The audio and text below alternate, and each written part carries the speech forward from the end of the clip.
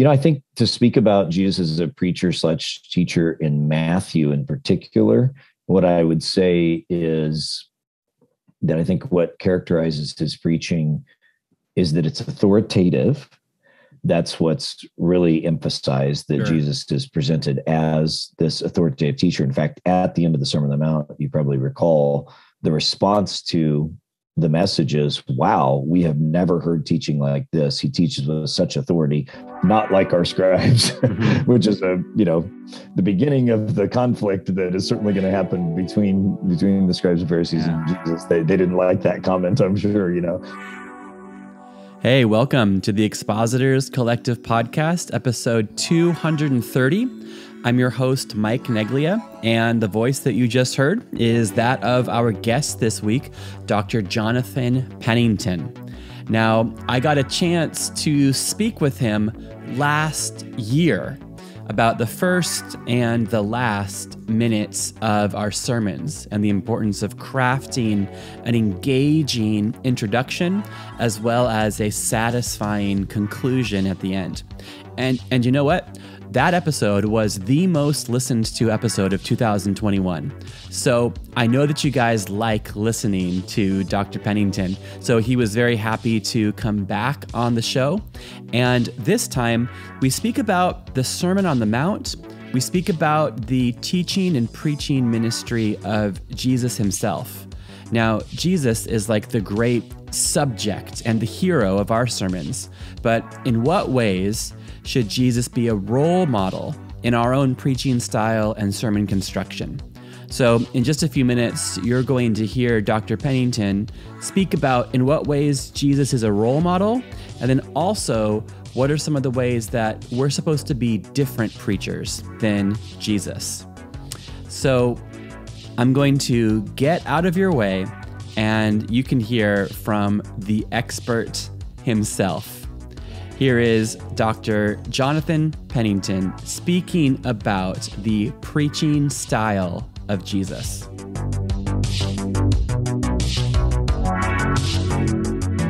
Uh, well, hi, welcome to the Expositors Collective Podcast. I'm thrilled to have a returning guest, Dr. Jonathan Pennington. Uh, good morning. Welcome back on the show. Hey, it's great to be here. So before I, I, got some questions, we'd love to talk about the Sermon on the Mount, human flourishing, and then even specifically the the Beatitudes. But in researching and getting ready for this interview, I heard you mention that you used to be a big heavy metal fan. Is that is that true? uh, not only a fan, but a, a producer. Not a that is a I mean a producer of heavy metal. That is a player of heavy metal. That is yeah. Is that right? Is that yeah. right? I'd love I'd love to hear more. Yeah, it's just when I was in high school, that was the era of Metallica and Megadeth. So I was in high school in the mid 80s. So my life was was metal. Yeah. So that, I mean, I played in a band, played bass in a metal band that was horrible, of course, and uh, named Roadkill. Roadkill, uh, wonderful. good times, good times. That's so great. God was preparing me for the later ten years of my life where I was a worship pastor, not not of a metal sort, but of another sort. But God knew what He was doing and teaching me to be a musician through metal. So wonderful, wonderful. Well, uh, I recently spoke to uh, Dr. Justin Holcomb and found out that he also was in a heavy metal band. So now I'm just like, I'm looking for what is it about uh, theologians that that make all of you go through like a metal stage first and know. then you settle down. But uh, anyway, I'm we're sure. gonna go gonna go look up Roadkill and see if I can find yeah, they don't exist. Thankfully, it was pre pre-digital anything. So okay, well, that's I'm, I'm sorry that I'm sorry for the world's loss. Yeah, sure. um, so, I, what I'd like to mostly talk about for for this conversation is, as I mentioned, the, the Sermon on the Mount and Jesus's most famous sermon. And um, I suppose I know, Dr. Pennington, that you've spent so much of your life looking at the the Gospels as a genre and the Gospel of Matthew specifically. Um, I wonder, like, what have you noticed about the preaching of Jesus, or to put it another way, like what kind of preacher do you think Jesus was? Mm. Yeah, it's such a great question. Um, you really can't separate it from the other side of that coin and what kind of teacher was he. um, I, that was just fresh on my mind as well. I'm currently trying to finish up an essay for a, a whole academic book that I'm only one chapter in on Jesus as a teacher in oh. Matthew. Just that, that oh, really? Oh, yeah. it should be coming out in next year or so. And I think I'm probably holding the book up right now, honestly, but uh, I'll get to it. Um, but I, it, so I've been thinking about that, and there'll be a lot of good essays in there on that question. And so, teaching and preaching are different in my mind. In fact, referencing back to to the book Small Preaching we talked about last time, I actually make a distinction between teaching and preaching. But there's also, of course, a lot of overlap. It's you know the use of words to instruct and give vision, and to invite people to disciple to be disciples. Um, you know, I think to speak about Jesus as a preacher slash teacher in Matthew in particular, what I would say is that I think what characterizes his preaching is that it's authoritative. Um, that's what's really emphasized that sure. Jesus is presented as this authoritative teacher. In fact, at the end of the Sermon on the Mount, you probably recall the response to the message is wow we have never heard teaching like this. He teaches with such authority not like our scribes mm-hmm. which is a you know the beginning of the conflict that is certainly going to happen between between the scribes and pharisees yeah. and jesus. They, they didn't like that comment i'm sure you know. Spe- the scribes especially have slain their thousands but jesus has slain tens of thousands. Mm, i love that metaphor but yeah that's good. Um so but and you know that also relates to jesus's um social status and his educational social slash educational status which was not as a rabbi. I mean he ends up people call him rabbi and philosopher and sage and all these things but he clearly is not part of that educated class. Um, and on this i think one of the my friend chris keith his book jesus' literacy is really interesting. And another book of chris's um, jesus against the scribal elite both of them talk about this sort of major educational difference between Jesus and the and the rabbinic class, and that added to the conflict between them because he taught with such authority and preached with such authority when he was clearly not educated in the same way they were. Okay. And and and he and he overturns them. Like he constantly says, "Have you not read?" Which is a very, you know, that's one of a very rhetorical, powerful statement. So on the one hand, he's authoritative, um, and at the same time, especially in Matthew, but it's true in all the Gospels, um, Jesus, as a preacher slash teacher, is mysterious in that he, the things he says are not always clear. And that becomes a very important theological point in the Gospels that Jesus, Jesus' teaching and preaching separates all people into two categories those who are granted understanding from the Father and those who are not and that's a hard thing to say hard thing to to sort of even think about you know? But that's a very clear emphasis in all four of the gospels. For example in matthew uh, jesus says in 1125 i thank you father lord of heaven and earth that you've hidden these things from the wise but revealed them to little children. Yes father this is your goodwill. No one knows the son except for the father and no one knows the father except for the son. And the one the son chooses to reveal to him so come to me, all you who are weary and heavy laden. Same theme is in Mark, where Jesus is nobody understands who Jesus is except for the demons. Uh, in Luke, Luke, Jesus is a teacher, and Luke is a little bit more clear.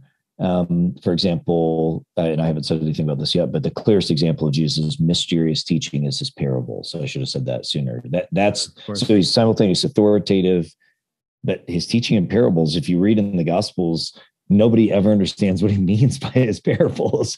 So his disciples have to come to him and say, "What? What did that mean? What did that you know metaphor mean? What did that parable mean?" So all that to say, he's simultaneously authoritative and, and mysterious. So you could cut all that other stuff. He just wanted me to get the the sound bite. There it is. I finally got to it. But uh, but that's that's what I was trying to get to. Well, no, the best thing about these podcasts is that we're not looking for sound bites. We're looking for those long answers, long form okay. answers. So thank you very much. Uh, I'll try to shorten my answers a little bit. Uh, no need. No, please don't. Please don't. What? So now I, I'm I'm aware of like in the book of Acts describing Paul. I think there's a phrase that Luke uses a few different times, saying that like that Luke gestures with his hands, uh, or that he's kind of a he talked with his hands. Um, is there anything similar, like like the form of Christ's teaching? So it's authoritative, it's mysterious. Um, anything you've noticed about how he teaches? That's a really interesting question. Uh, he sits. Yeah. Okay. Which is which is a sign of authority. Um, so Matthew 5, 1 and 2, it says he 5 1, he went up on the mountain and sat down. So I always say when I'm teaching teaching the Sermon Mount, I always, you know, look out upon the crowd and, you know, make this joke of, you know, you're welcome. You know, culture has changed, you lazy bums. I'm the one up here standing while you're all sitting. But yeah. but in the ancient world, it was the opposite. The teacher sat. And that was because it's this picture of a seated as a throne, even or as a, you know, some kind of position of authority, um, which continues, of course, to this day in many traditions. Yeah. So that's that's one thing. Yeah, that is that's the ultimate sort of one of it is things that are spoken from the chair in that sense. Um, you know, I don't think the Gospels say much about um, his style, except for, of course, the words being both authoritative and mystery, mysterious, mm-hmm. as I said. But I think one of the most important things to infer is that he was warm uh, and welcoming because you know the the only people that don't like him are the ones who are threatened by his authority that is threatening their authority. But the regular people loved him and flocked to him. And that is the sign that he must have been and he says it. He says as much. Come to me, all who are weary and heavy laden. But it, he his tone and demeanor and posture must have been warm and welcoming, uh, or else regular people would not have not have flocked to him, and literally thousands upon thousands. So, um, yeah, yeah. I guess the only thing we can infer from what he does say is that you know he was very creative and imaginative in the sense of uh, you know great analogies. Like any good teacher he mashes ideas up together and makes you see in a new way. You know and the parables of course being great examples of that too. So yeah. Well then the, of course the follow-on question from there you know as we're a podcast about teaching and preaching or personal study and public proclamation of god's word what what do you think that contemporary teachers and preachers should be modeling from christ? And then hmm. is there anything that we we shouldn't be I mean, even thinking of those two things that you said, he's authoritative yet mysterious. Is there a mm-hmm.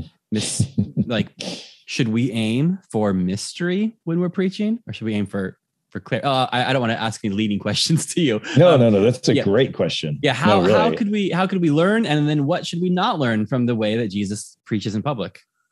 Yeah, I, I love that question. I've pondered that myself, and I think you probably feel, and our listeners probably feel the same way. Like, are you saying there's something we shouldn't learn from Jesus? You know, yeah. that just seems like a weird kind of framing of it. But, um, so you know, it makes me a little hesitant. But I do think, yeah, the authoritative, as long as that's understood as not harsh and demeaning, because mm-hmm. Jesus is certainly not that. In light of what I've just said about the warm and welcoming. Um, but the mysterious part is really the that's really the crux of the issue is it should we be that way? Because the way his parables work and it, this is explicitly stated in mark 4 and matthew 13 is that they do separate people. They, they they separate those who are granted understanding and those who are not. And so you know how, how does that become a model for us? Well i would say that that's more descriptive than prescriptive to use okay. some kind of language we often use um, when we talk about acts for example. But i think that's probably more descriptive than prescriptive in terms of the model for our preaching. That is that when we preach we go for clarity um, but we recognize that the result is going to be um, a separation of people into those who understand and those who don't um, I think that's a fair kind of reading of that. In fact, the parable of the sower, which is the primary parable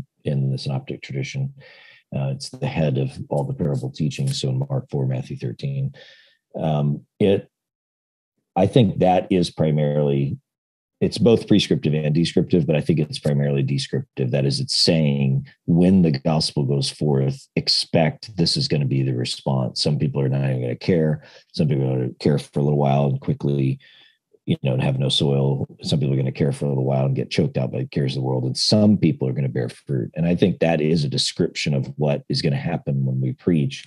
But I think the call to us is to preach with clarity. And I think that we could, we'd have to go to Paul and all the things he himself says about his ministry, that it was gentle, uh, it was clear, and it was at points pointed in terms mm-hmm. of if there was a heresy at stake. Um, but there, you know, it was clear and it didn't shrink back. And especially, you think of the Corinthian correspondence, he talks about his um, openness his uh, openness in his life and his words, that he's not using sophisticated arguments that are trying to win, make people impressed with him. He's not leaning on high rhetoric, which footnote on that is very important that we don't misunderstand him to saying that great rhetoric is inherently bad. What he's talking about is the dependence on form rather than substance, right? I mean, because the entire Christian tradition you know the greatest preachers the one we whose names we know and writings we still read going back 2000 years are precisely because they are very gifted sure. uh, rhetoricians you know? So there's nothing wrong with being a good speaker. It's all about the dependence and the focus. So all that to say i, I think you know we we model um, the kind of clarity of of jesus and we expect that the results are going to be the same thing that happened to him yeah yeah. Okay. And and and obviously almost goes without saying, but to say that we want to speak with authority, but yet it's a it's a distinct kind of authority than Christ speaking. You know that that we wouldn't say the sort of things that he says. You've heard it said, uh, but now I say to you. Uh, on the one hand, we do want to speak with that kind of clarity, but yet it's not rooted in our identity. But we're we're saying here's what the Lord Himself says, and we don't get to make it up. But yeah, that's really good. I yeah, it's you know to use a couple of metaphors the New Testament uses that are good for preachers. We're ambassadors, which is different than being the king or the president. Yeah, yeah, and yeah, we yeah. are and we are witnesses, which is different than being the actual substance. You know, so those are a couple of good metaphors to keep in our minds in terms of what we do. Okay, so now I have kind of a kind of a cross pollination question. All right, so with the idea of like how should Christian preachers be learning from the preaching of Christ? I read this great book recently called Small Preaching uh, 25 uh, Little Things You Can Do Now to Become a Better Preacher. And in it, the author, you, says this on ch- in chapter 15. You say that the first minute of your sermon is absolutely crucial for homiletical effectiveness. And then you go on to say, it is your responsibility as a preacher to craft the opening of your sermon with intentionality to grab and keep the attention of the easily distracted people hearing your voice. So, with that in mind, Jesus begins his sermon by saying, Blessed are the poor in spirit, for the kingdom of heaven is theirs. Blessed are those who mourn, for they shall be comforted. And then goes on to give all those makarios or those all those blessing statements. Uh, how do you feel, or, or, do, you, do you think Jesus had that in mind that he needs to have a, a good opening sentence? Um, but how how does that the opening moments of the Sermon on the Mount play into all that he says afterwards, and how does the first minute of his sermon um, factor into this most famous sermon of all time? physician heal thyself. Yeah uh, that's good man. That's that's actually a great question. That's really really funny. I've been reading me. a lot of your stuff lately. Yeah. So I, I, mean that's I, a that's a very interesting i noticed patterns yeah. Yeah. I mean i've never thought about that like what, how did jesus do in the first minute of his sermon? That's that's, that's really funny but I think the Sermon on the Mount is a great example of both the first minute and then there's another essay, the last minute, you mm-hmm. know, the, what you do in the last sermon, which I think also he kills it in that, in the sense of how the Sermon on the Mount begins and ends yeah, you know, the Beatitudes, uh, I've talked about it, you know, a lot of other podcasts as well as just teachings everywhere. And then in the book, of course, the Sermon on the Mount book. Um, so I you know, have to resist from saying the whole thing here, but the shortest version of it is the Beatitudes are statements about what true happiness or true flourishing looks like. It was a common um, topic within any ancient philosophy or religion uh, as it is for today for every you know peloton commercial or you know lincoln continental or or uh, you know any worldview that's being sold to you everybody's promising happiness and you know some people are doing it crassly for marketing purposes but most you know many people are doing it out of sincerity like mm-hmm. here's a way to live that was going to bring you actual life you know this is what every philosophy and every religion's about so in that sense what Jesus does in the first minute of the Sermon on the Mount. I love that question. Uh, he gives nine nine statements about what true happiness or flourishing looks like. That's what the word makarism means. It's what the word beatus means. That's why we call them beatitudes. Uh, the Hebrew word is asher. It's, they all mean the same thing, which is what's the true state of shalom or the true state of flourishing. So in that sense, it's a great opening because he's on the one hand tapping into what is a universal human question. In fact, the most universal human question. If you read through philosophy and religion, uh, I'll just quote Augustine as one example of millions. You know that every thinking person, Augustine says, is concerned about his own happiness. I mean, that is like what drives all of us, whether we realize it or not, whether it's to sacrifice or to to be gluttonous. Everybody thinks that what they're doing is going to bring them happiness, or else they wouldn't do it. And so, on the one hand, again, Jesus is the great way to open a sermon. He taps right into this universal human question. But the other way, the first minute is great, is that what he says about happiness is completely unexpected it is like shocking. So it's this combination of like, oh, this is like, okay, this is a really relevant topic. What's the nature of true happiness? And then what he says is like, what? Happiness or flourishing are those who have a poverty of spirit and are mourning and are hungering and thirsting, which is a negative image, and are merciful. That is, they're forgiving others who have done them wrong, and they're peacemakers. They're bearing the hatchet rather than, you know, insisting on their own justice and rights. I mean, everything. And then finally, he says, those who are persecuted and reviled and misled that's the state of true happiness it's crazy i mean so this is a very powerful you know beginning to the first sermon in the first book of the new testament uh, from jesus. And wild. Thank you. So why all right. So if you would say that like this idea of flourishing is um, so central to the opening phrase and then you could also just say the the life and teaching and the impact of the the way of Jesus. If if human flourishing is one of the goals of that sermon, uh, would you also say that it should be a goal of our sermons as well? Uh, should teaching and preaching, expository, whatever, should it include a goal of like, I want to help these people flourish? Yeah, yes, in the sense that um, that is the biggest goal. That doesn't mean that every application point has to be how do you flourish now? You know, I mean, okay, like, okay. you know, in, in, any given sermon, you know, this is the beauty of the richness of the Bible, which has a million different things going on in it, and you know, topics are addressed and theological truths of many, many sorts. So it's not like every sermon needs to become, you know, Haggai's three and human flourishing or something, you know, you know. But yeah, yeah. I don't even know how many chapters are in Haggai, so I hope I got it right. But anyways, the I assume there's probably at least three. Um, but the yes, but at the highest level, yes. I mean, I would say this is what marks my entire ministry and what marks um, you know, largely the ministry of our church, for example, which I'm not, you know, the only voice there, but it's I think it's probably fair to say that at our church that something like that is what we would say our goal is. Um, and I think it's based on you know what Jesus himself is saying, not only in the sermon, but in places like John 10 10. I've come that you might have life and mm-hmm. have it abundantly. You know, when we I, I think if you want to go to the Gospel of John, um, you know, we get these explicit statements multiple times like that, but also even John in narrative voice comes in and says, I've written these things because this testimony is true so that you might have life. Right.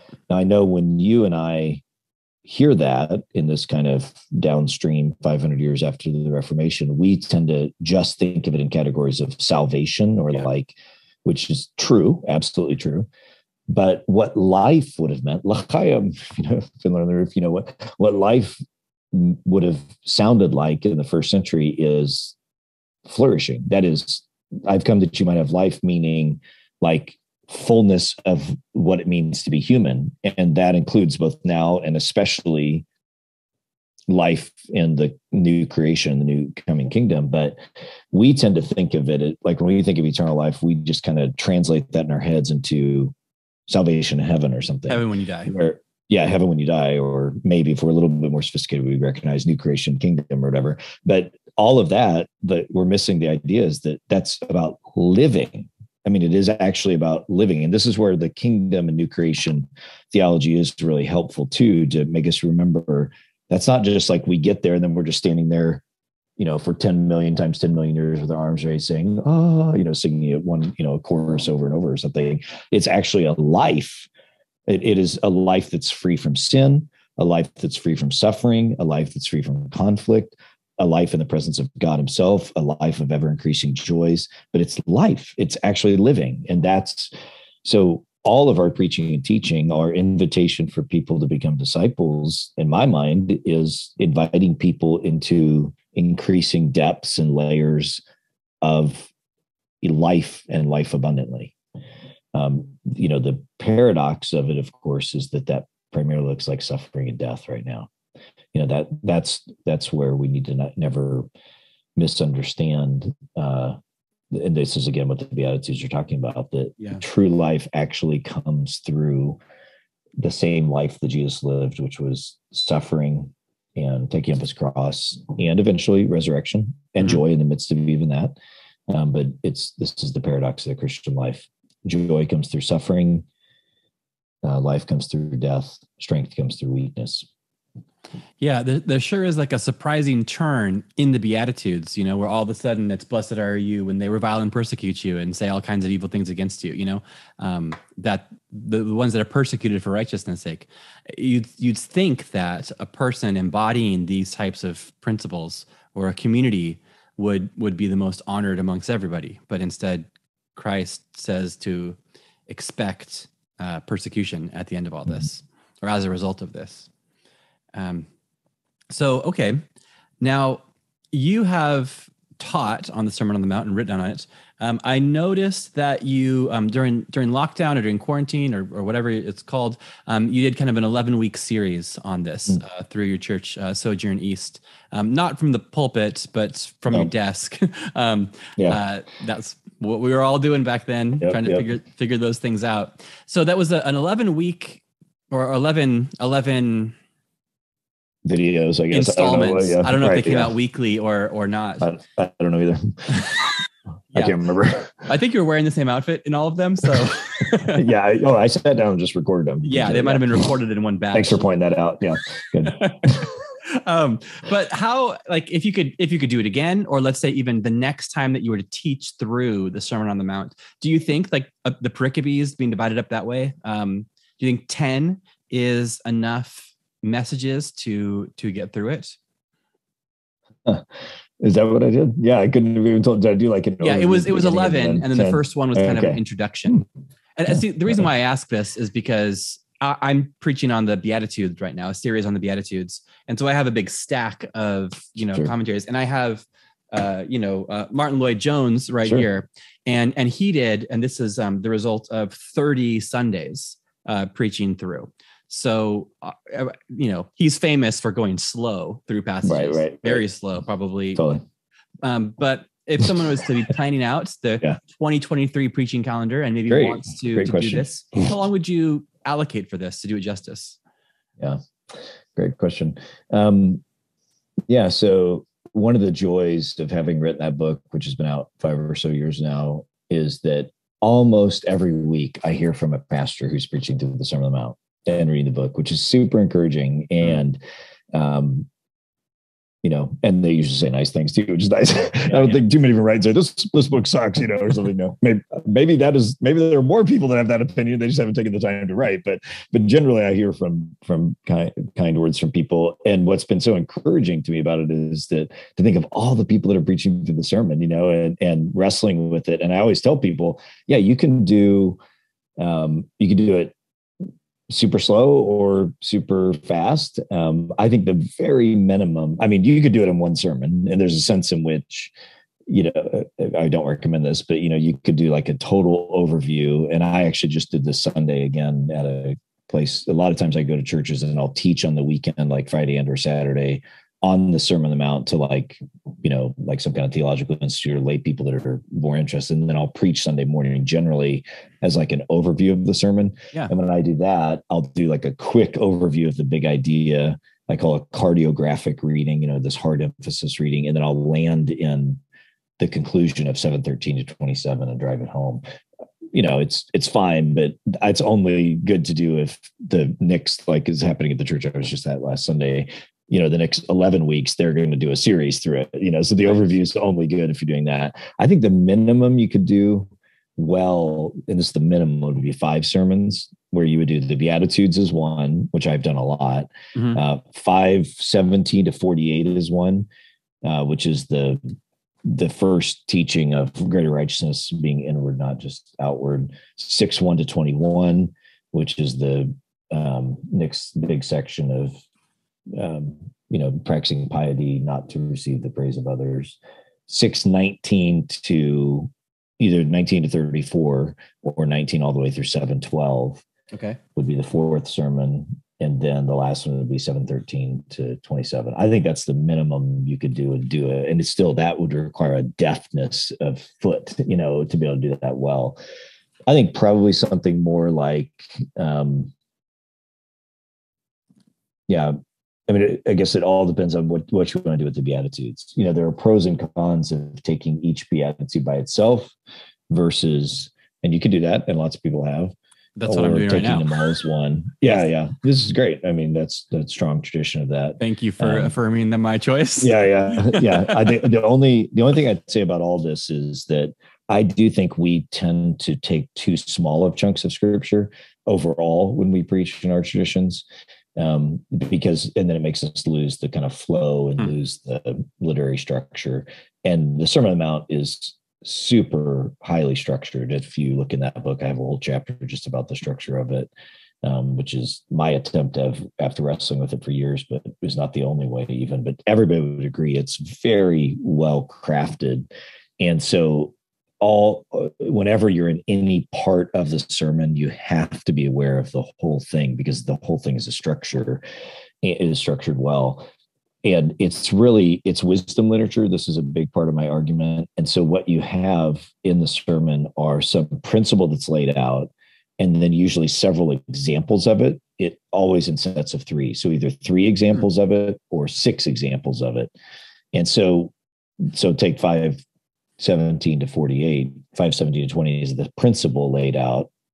520 being the key idea, unless your righteousness surpasses that of the scribes and Pharisees, you'll never enter the kingdom of heaven. And then he gives six examples that are in two sets of three.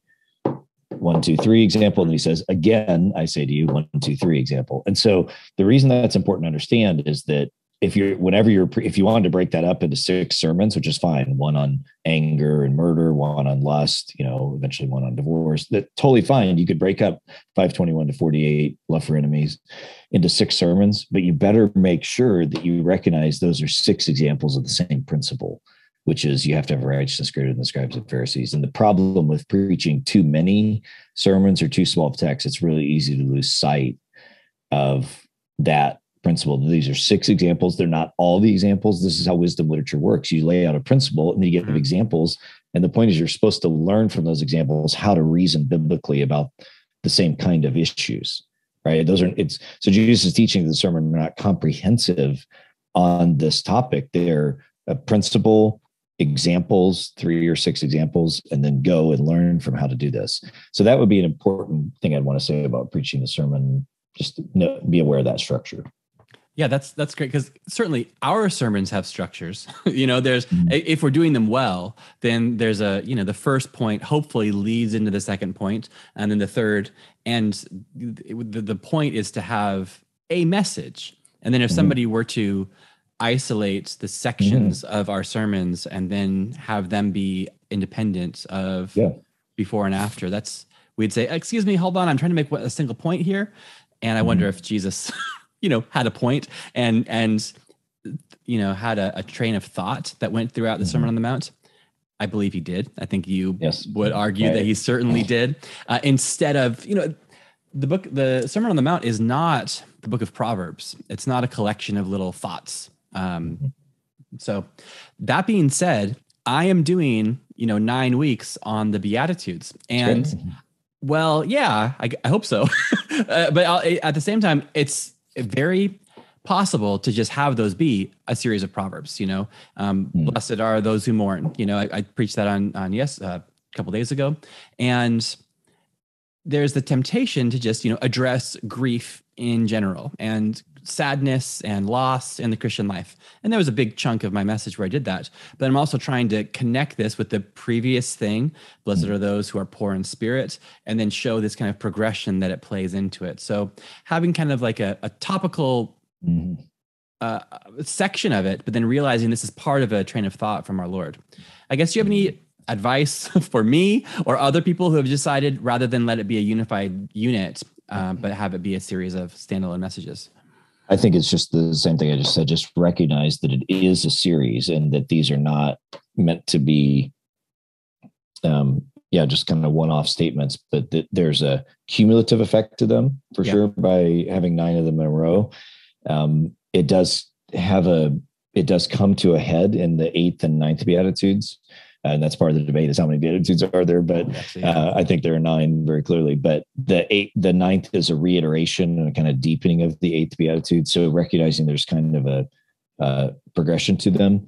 Historically, uh, the beatitudes, uh, which were obviously hugely influential, were read as a ladder um, up toward God. So there's a lot of the tradition of preaching on the Beatitudes. It sees them as a sequence, actually, of, of spiritual formation. Um, I'm not necessarily saying you have to preach in that way, but just to acknowledge that's how most Christians have understood that the Beatitudes are again in a they're in an order for a reason. So however you determine whether how strongly you want to emphasize that either way you shouldn't just preach one beatitude as kind of a one-off thing come back next week for another principle nugget you know sure. or something. And to remember that at this overview level what i said earlier when we were talking is that these are shocking statements about what happiness is. Like i would want to keep coming back to that each time because i think that's the that's the cumulative effect of them together is this is the vision. He's laying out this kind of vision for for what true life is, it is shocking. You know, I want to not miss that aspect of it. Yeah. Yeah. Yeah. We're titling the series the the contrarian values of King Jesus, that That's each good. one just goes against um, what you would expect. Um, let, let me I always, let me just say my only regret okay I've, I have two regrets about the sermon on the mount human flourishing book which otherwise i'm you know happy with the one is i had intended to spend a lot more time in pre-modern exegesis, especially patristic exegesis, and I just ran out of time. And uh, and the book was already long, and so the intention from the beginning was to root root its reading more deeply. That is in the commentary section. The the, the book has two parts. The first part is kind of a laying out of how to read the sermon, what are the issues, what were some of the key ideas, and the second part is the commentary proper. And that's my one regret that I didn't. And if I get a chance to do a second edition, which hopefully I will, I'll do. I'll beef it up in that way. And let me recommend to you Rebekah Eklund. Uh, she teaches at Loyola in Baltimore. I think that's right. But Eklund, E K L U N D. She's got uh, just a stellar book on the history, the interpretation of the Beatitudes. It's very readable. I use it as a textbook whenever I teach a sermon now. I endorse the book. You'll see my endorsement on there. And she just goes chapter by chapter through each beatitude and and walks through how people have read it historically from the church fathers all the way up to the modern period. It's stunning and it's very readable. So not too late to get that. It's um, not i'm going to order it as soon as yeah in fact i'm so going to hurry up and wrap this up so i can order it. Yeah. That's exactly what i want. Yeah. And i'm only really two good. weeks in so there's yeah I, good. That's you that's go back wonderful. and fix the other ones. Uh, so but that relates to my second regret about the book is that it's so embarrassing is that when you get to the commentary section, as you may have gathered, I never actually address each of the beatitudes individually. Yeah, I know it's kind of frustrating. It's, huge, huge, it's uh, the the idea of the beatitudes exactly. is addressed, and I'm like, yeah, yeah, that's cool, but like, help me out here. totally, total L. It's a total L or a fail. It's an L, as my kids say, it's total loss. There that, and the reason was it's just embarrassing. The reason was is that the book kept evolving as I wrote it and the original plan was to do something more like a an exposition kind of a very accessible exposition of the sermon not a sermon on it but like a kind of scholarly exposition at this kind of broader level mm-hmm. so i kind of did all this other work and then did that for the beatitudes and then as i got into 517 and follow or 5 you know I guess 13 and following I kind of kicked into just the issues are so much and so much going on. I kind of kicked into a more commentary proper kind of mode. And then I got to the end and I realized I hadn't really done that with the Beatitudes. But again, it was kind of like, well,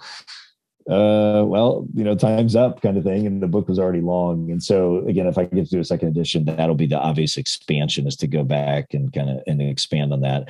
I mean, I, honestly, I, I do think what the contribution is that the vision I do give for reading the Beatitudes, I yes. think, is significant and substantive yep. overall. And so that's why I think that it's still good to read that section of the commentary and the earlier chapter because I'm casting this kind of overall vision of how they all work. But again, I just regret that I didn't kind of go in depth into each of the individual ones. So well, second okay. edition. As some as someone, I'm your target audience. As someone who bought this hoping that it would be sorry. Um, Ah. I, I, I remember where I was and I kind of like turned the page and then it was like the last chap the last page of that section and then it started the next bit. I was like, wait, where's where's he gonna go through this? And then I was like, well, it's not there. But I don't regret it one bit because I think that first the first half of this, all this stuff on like, you know, the idea of what a what a blessing is and all that was like so valuable. I was like, well, it wasn't what I wanted, but it turns out it was what I needed. Turns out Good. I need the second edition. so you yes, hurry up I'm, right? I'm really sorry. And as one who preaches a lot too, and now now my reading of commentaries is primarily homiletical more than academic, you know, like when I'm I'm in a busy week as well. And I'm like, we're preaching through Second Corinthians right now. And I want to go to a commentary and get some help on these ideas, you know, particularly so I can take my notes and then write my own sermon, you know. And so, so my deepest apologies That's to you fine. all I'll those. Get, still buy the book, still read the book, book you know, because I do think it's beneficial what I say in there. But uh, yeah, in the Beatitudes, I, I should have done more. So, but Eklund is, is, your, Eklund is, is the one to go to, yeah, and I'll order that sure. Book right away. Yep. Well, so uh, just on a final thought, like you know, this conversation's been great. I I loved well, a few minutes ago when you just like quoted Matthew 11 from from memory, and I've I've heard you speak elsewhere about like part of even like wisdom literature, which you would say that the Sermon on the Mount falls under that. So that part of understanding scripture and this kind of literature specifically is memorization. So mm. do you have any, any thoughts or closing thoughts on on the the value of like memorizing this as a means of deepening our understanding? Mm-hmm. Yeah, yeah. And I'm happy to confess that um, I understand this better than I practice, you know, and so uh, I have had the Sermon on the Mount memorized. I could not do it right now.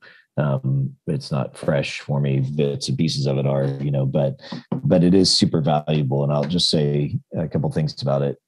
It's very interesting. I teach a PhD seminar on the history of the interpretation of the Gospels every couple years, and one of the things that comes out really clearly, especially in the medieval period, is that, and this was true for earlier times too, but it's really explicit in the medieval period that memorization was the primary means of Bible study because they recognized that memorization is the only way you can really meditate, which is the goal of reading scripture is mm-hmm. to actually meditate on it spiritually and personally.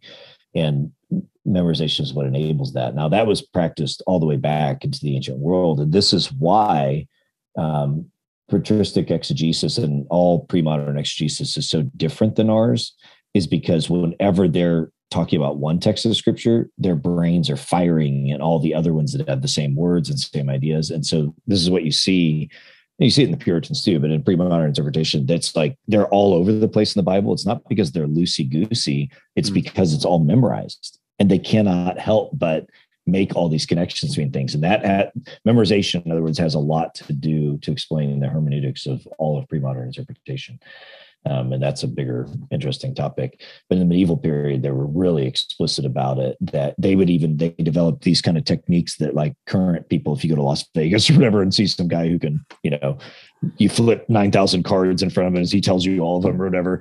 Those techniques they use, they developed in the medieval period, like a mind map. You're walking into a cathedral, and on the left is this, and you know that's the exact same technique. So, all that's really good, and that comes back to the bigger point then again, which is that the reason why memorization is so important is because that is really the goal of Holy Scripture that we might be transformed as it seeps into us and we meditate on it and even though I couldn't verbatim produce the Sermon on the Mount right now, I could say that it it haunts me happily constantly Mm-hmm. because I've spent so much time in it and phrases from it and expressions and ideas from it are always present to me because it's because I've given the labor to understand it and and so yeah I think the the one of the most important things to do when we think about all of the Bible but we're talking here about the sermon is to to spend the time committing at least chunks of it to memory um, I read a lot of poetry as well, and I recently had, or some time ago, I memorized, and I recently kind of re reworked on it. Uh, one of my favorite poems, "Do Not Go Gentle into That Good Night," um, by uh, Crank. I just lost his name, um, and you know, it's so so striking to see this that when you memorize a poem, because of the active kind of learning that it is rather than the passive kind of learning that reading tends to be memorization is a very active form you actually start to understand it in a different way so like if you memorize the stanzas of do not go gentle into that good night um, it it's like in the memorization of it because you have to figure out hooks to memorize it I I finally understood like what the flow of the poem was. Like I had read it and heard it many times, but it was not until I memorized it. I said, "Oh, that's why." Oh, oh, oh, oh, and it, it, did not matter how many times I read it; it was still a passive experience. But it's the memorization that really deepens the understanding. So that's my invitation to you. It's a reminder to myself of how good this is as well. Well, thank you. Yeah, very much. Could could we hear? Do not go gently into that night. Oh no. Great. Come on. You're really trying to bust me? Oh i did just i mean it's been a couple months since i've recited it. Um oh my goodness. You're totally fair. Totally fair. either that uh, or the sermon on the mount. What do you want? Oh my. I i really can recite all of do not go gentle into that good night but i don't think i can. It's been a couple months since i've since okay I've okay okay okay. Oh no. Bummer. Way to end on that note. Totally all fair. right well totally fair. it ends with a fizzle yeah, totally. wah wah wah. Still buy the book. Buy the book. Yeah, go buy the book. That's all that matters. So, um, wonderful. Well, thank you very much, and uh, definitely looking forward. You said you're contributing a chapter to the um, the the the book about Jesus as a teacher. What what's that titled, and who's putting it out, and when can we expect that? All good questions. Oh, okay. Uh, okay. The, the no, those are the title is I don't know, but it's Okay. in the LNTS volume. It's probably Jesus' teacher in Matthew or something like that. Uh, the editors are Charles Quarles, Chuck Quarles, and Nathan Ridlehoover, um, who are both at Southeastern people. And there's a whole bunch of chapters in it. I'm writing the essay on uh, Jesus as teacher in Matthew in his Greco-Roman philosophical context, which is you know part of my shtick. And so, but other people have written on like Jesus teacher in his Second Temple Jewish context, Jesus is you know the style of his teaching, all that. So yeah, it should be a very good volume. Yep. Yeah, I, I look forward to it. Anything else you want to hype before we go? um, well, now I just feel bad about the whole That's fine. That's fine. thing. When's when's the next um uh, theologians in cars get? Oh, I have not recorded that. You know, COVID killed that, and then I just have been so busy with other things. Um, people often ask me because I I loved it. It was so great. Uh, my the car was out of commission for a while. My son is now driving it. Actually, I got it fixed, and and I bought myself a brand new car. And now Okay. I'm now that I have a new car, I'm like, it's pretty nice to drive a brand new car instead of an old old car. So my son's enjoying it, not the gas prices, but uh, so yeah, I don't know. I don't know if I'll get back to that or not. I I have another uh, some friends I've worked with in various capacities that are pretty well known people have asked me to do a podcast with them, and I I have decided not to at this point, just because, um, yeah, just my schedule and the things I want to concentrate on. So yeah, I don't know. Sorry, not a good it. More, more fizzle for the end. So okay. trying to write, trying to write, and trying to be a good pastor. That's Good what job. I'm really trying to do. I'm trying to spend a lot of time with people and ministering to people and and uh and concentrating on my own spiritual spiritual mental health as well. So yeah, I would love I love doing those things, but uh yeah, not in the Yeah. foreseeable future. Yeah, and that's ultimately a more important investment than you know stuff for me to consume in a, a different continent, just for me to to have on in the background while I do something else. You know, there's real people who who need you, and I'm glad that they have you. And anyway, thanks for all the stuff you've written. I appreciate it. As you've heard, I've read read quite a bit. I know there's there's more. Uh, Jesus the Great Philosopher is actually I ordered it a while ago and it, it has been delayed getting here. But oh really? Or, oh, okay.